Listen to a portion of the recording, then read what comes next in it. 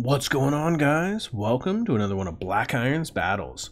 Today, you're going to see another one of the multiplayer battles between me and Dahv Plays, and you'll see this time that I have taken the Dwarves and I am facing off against a crazy Tomb King build. So we're doing a lot of experimenting, and I have to give a disclaimer that this was one of Dahv's first games with the Tomb Kings, um, so, you know, I'm sure he's he's got all of his builds down by now. Um, but you know, for this one, I was lucky to catch him when he was still early, and so uh, it makes me look look like I know what I'm doing. So here in my front line for the dwarves, so now they've got a ton of mass now. The dwarves did get a huge mass buff, so they're not as easy to smash through.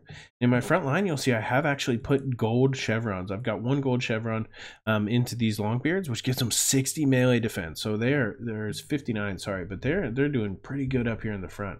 I've got three groups of those upgraded Longbeards, as well as two groups of miners with blasting charges, and uh, I've also got a bunch of units here in the back. I've got a group of Thunderers, I've got a Thane here, which of course, like always, I've got that um, Master Rune of Gromny, uh, Stromni, sorry, Master Rune of Stromni Redbeard, as well as the Tormentor Sword, which they have changed the Tormentor Sword, so it, it's actually uh, only 9 seconds long now, but uh, it recharges after every 90 seconds. You don't have to be in combat to recharge it anymore.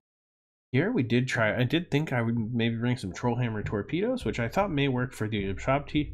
And uh, in the back, I've got two groups of Slayers. Now, I, for my Legendary Lord, I've brought Grombrindal, and he is just, the White Dwarf is so cool.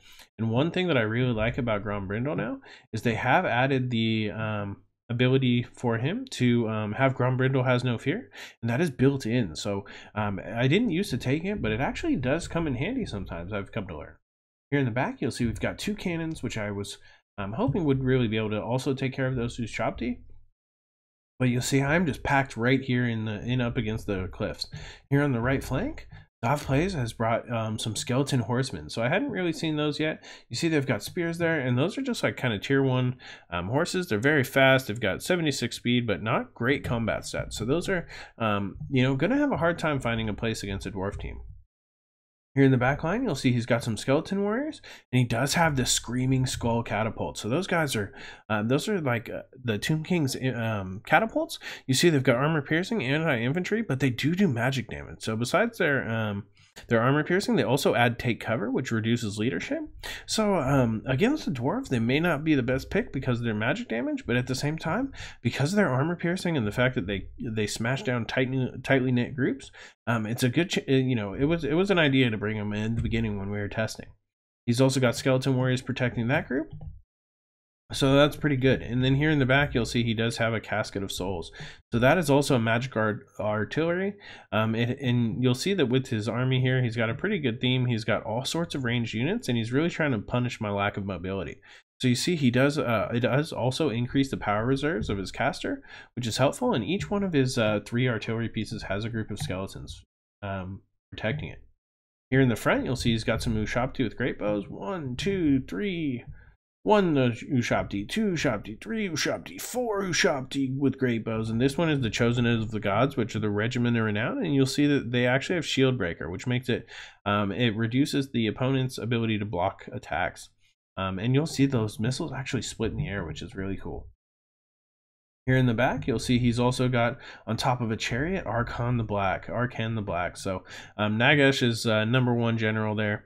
Um, Arkhan He's got the Tomb Blade, so he's able to replenish his own hit points. He's got Liber Mortis to do that 44% ward save.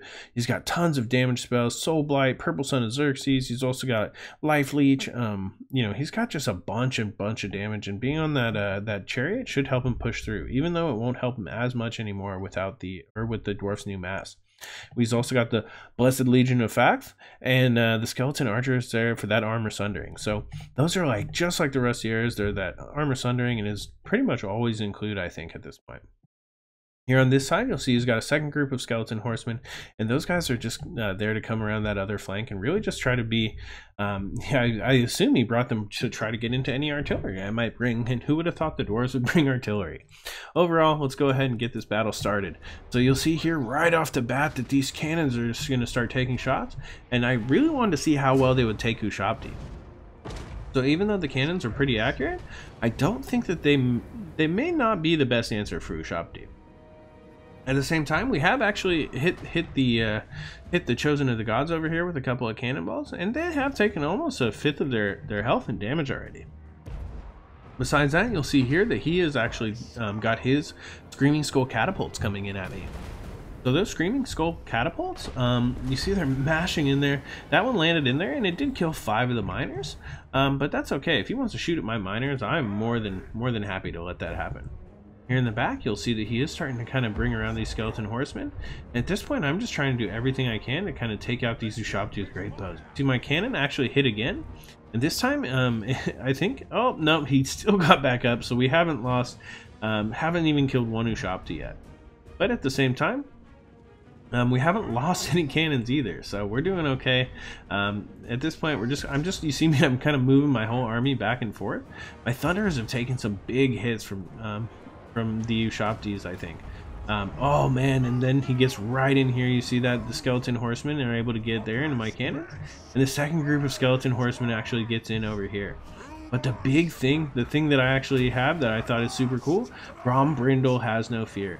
So even though these cannon uh, crews are off of their cannons, they are going to stand here and fight, and they're going to allow these Slayers to a chance to get in the back here. And these Slayers are going to go to town. If we take a look here, you see those Slayers and even the cannon crews fighting, and those those skeleton horses are have to get the hell out of there. Here on the right, you see the Ushabti are actually focusing my Iron Drakes, and they've taken some heavy, heavy hits, as have the Thunders. I mean, there's just big, big damage um, being taken from from these. Even though they're doing magic damage, the Screaming Skull Catapults are hitting me pretty hard. I mean, they're super inaccurate, if, if you've noticed. I mean, I don't know if this Casket of Souls has hit anything thus far, but even though they're inaccurate, they're, um, you know, when they do hit, they do pretty good damage to my tightly packed Dwarf units. Here in the back, you'll see I've got these cannon crews still alive, and these skeleton horsemen have gotten flash bombed, and so I think that's going to be it for this group. The second group is over here, and they're going to try to come in here, and you see, oh man, look at those Ushabti charging in. They're going to come in here and take those miners, and that is fine for me. That's what those miners are here for. Um, they're in here just to take damage. They've got some armor piercing. If they can take out a few of those horsemen and those and those uh, Ushabti, I am more than happy to oblige. Here on the hill, you see we've actually got the Thunderers going to start shooting. And they're going to be firing right into these expensive units over here. So that should be pretty good. We've also in the back got our cannons back online. And we're starting to get our Slayers and everything. And we're going to start bringing them up over here to battle. Here in the back, you'll see we have actually got these troll, troll hammer torpedoes coming up, and hopefully I can get them to take at least a shot because these because they haven't done anything thus far. Here on the right, the miners with blasting charges are into these these chosen of the gods, and that is just a great thing for me. They have they have armor piercing. They'll be able to kill some Ushabti, and uh, if they can tie them up, I'm I'll be a happy camper. These Trollhammer torpedoes don't seem to be doing much, but over here in the middle, I'm still doing okay. We've got these heavy, heavy upgraded Longbeards, and they're going to cut through these Ushabti with Great Bows with no problem. You see the Longbeards in here? They've these this these units almost still full. My Thane is still doing great. We've got um, Arkhan the Black right in here in the middle, but the Grumbling Guard are keeping everyone happy, keeping everyone fresh. And that Thane and these uh, these upgraded Longbeards will start cutting through everything at this point. You see here the Skeleton Warriors are, are actually starting to crumble already, and Arkhan's got to get out of there before he gets surrounded and killed. If we take a look from above, um, you can see that it's just neck and neck. Dahv and I are so close. But at this point, I've got both of my cannons back online, and boom, look at that Casket of Souls. I think it just took shots from six cannons. It is already to critical binding, and after I think one or two more hits, it'll be gone. So now that these cannons are in the back here, I don't think that he's got anything that can get onto them. And you'll see here that they'll just be firing and firing, and they'll start taking out all of these artillery units. We've got the, the Casket of Souls crumbling, and so we're going to turn next on this Screaming Skull Catapult. And you see, there's just demolished. Those cannons are going to take that out, no problem. And you can see these splitting these splitting arrows are actually starting to fire in, so I am real worried. And I get these Longbeards on top of these Chosen of the Gods real quick. I do not want them firing. Over here on the right, you'll see that, of course, these miners are taking out those skeleton warriors. The iron drakes are off the field, only six damage done, so they were not useful in this situation. Um, the the thunderers are almost gone, but here in the middle, we've still got Grombrindal, we've still got these two groups of slayers, and everything that they touch is going to die. Over here on the left, we finally got our miners with blasting charges. You see they're going to toss some charges there. I don't think that'll do much good, but um, you know, either way, once they once they do finish those blasting charges, they're going to get in there and they'll take out that Screaming Skull catapult. There is no question about that. Here you'll see there's still about half the long Longbeards left, 49 models, and they're going to fight against these Ushabti with Great Bows. And they'll cut them down no problem. I mean, the Ushabti do have good weapon strength. They've got armor piercing. Um, but, I mean, just the number of Longbeards that are here will mean that over time, these, these eight Ush Ushabti will definitely die. Here in the back, you'll see that Thane has finally crushed um, the Casket of Souls there. He's raising his hands above his head. He's going to start heading back in. And the balance of power is finally starting to move in my favor. So you'll see that these cannons are still shooting. They're back in here, and now they're going to start landing right into the Blessed Legion effect. So um, those Ushabti Great Bows are almost gone. The Longbeards here are still holding strong. We've got everyone kind of charging in. Boom! Look at there's a chariot charge come from Arkhan. He's got 50 kills already, but um, at this point, I'm not sure. I'm not sure what to kind of target. I've got a bunch of slow-moving units over here, and um, I really, really need to finish taking out all of these uh, these catapults. Oh man, there's my dog. That's Chaos. Chaos is, is such a good boy. Um, sorry for if he if he's barking here a little bit now and again, but uh, he's he's almost 10 months old. He's a giant German Shepherd. So if you see here, me and Dahv, I'm starting to wrap it up, but it is not over yet. He's still got Arkhan.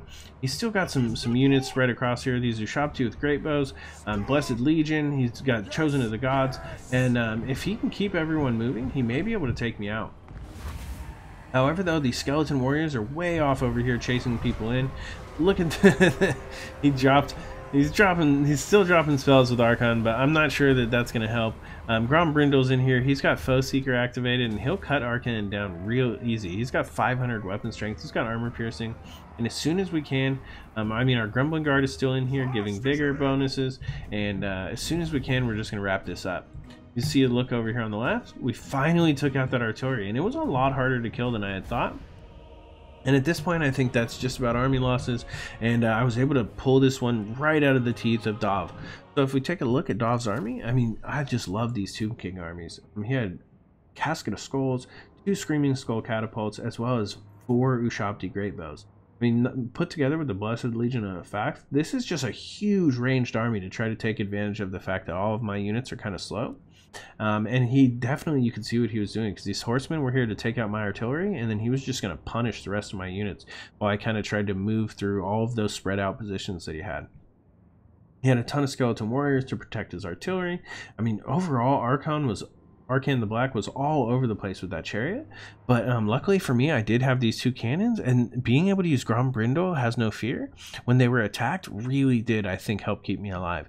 It allowed my slayers to get in there and uh, you know take out those skeleton horsemen. And uh, once those were gone, I think those cannons. I mean, there wasn't a lot he could have done. I think he could have maybe tried to have um, you know the Ushabti Great Bows kill the cannons, but they did a really good job killing what they did. I mean, those Thunders really didn't get to do much. Um, neither did the Iron Drakes. They were pretty much taken out immediately. Their range was just not not able to keep up with the range of, of Dahv's army here. Um, luckily for me, I did have these strong Longbeards in the front line. Even my Miners with Blasting Charges did pretty well. Because of their cheap costs, I didn't feel too uncomfortable sending them out to the flanks to deal with uh, whatever I could get their hold, uh, hold of. And since, since they were able to tie up a lot of these Great Bows for a long time, that's really helpful for me you said Grombrindal wasn't uh, wasn't really able to. I mean, him and the Thane. It was really just about killing the units at this point. Um, was about to. I think. I think that was pretty much it. I mean, we could have, we would have been able to hold down Arkhan with the Tormentor sword and take him out. Um, but you know, at that point, I think um, you know, I think it was pretty much it. Overall, it's just a great game, though, and like I said, is a uh, um, disclaimer is that this was the first day we were we were playing a ton of games together, me and Dahv. So um, he we were testing out builds. This is not a competitive build, I don't think, on his part. I think he was having fun playing with the the uh, the artillery, and I will say that the Casket of Souls I found and the Screaming Skull catapults are just not accurate enough to do well. Um, the Chosen of the Gods, the Ushabti Great Bows are really good. Um, so are the, I mean, the Skeleton Horsemen are pretty good at what they're good for, Tier One Cavalry. Um, all of this was here. If he had, if he had switched this this uh, Screaming Skull catapults and Casket of Skulls for maybe like a Khemrian War Sphinx or something like, or like a Necro Sphinx. Um, that I think that would have that would have taken the cake. That would have made it so that he would have easily pulled out that victory. And uh, it was just a fun, fun game, though. I want to thank you guys all so much for watching. Uh, thank you guys so much for supporting the channel. Please subscribe if you can. I'm really trying to hit a, a thousand subscribers. Tell your friends, tell your family. Black Iron is always down to battle. Um, you know, send me an email if you want to get some two versus twos going. Um, I really do just like playing the game, having a good time with you guys, and uh, I want you guys to, uh, and you know, let me know if you have anything that you'd like me to do, anything you want me to play. So again, thank you guys for watching. Uh, have a wonderful evening. This is Black Iron, and this has been another one of Black Iron's battles.